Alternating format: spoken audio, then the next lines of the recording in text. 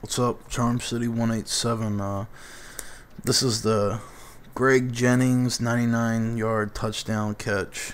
And easy way to do it is to run a streak and let the defense do a punt block. And you just use your three other wide receivers to block the one punt returner. And it's easy. You get to uh, put the team on my back and Mario Manningham trophies. It's a gold and a bronze trophy. It's real easy. Um,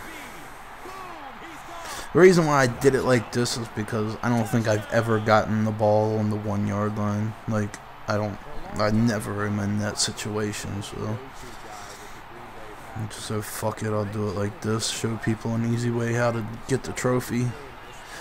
Put the team on my back. Mario Manningham um,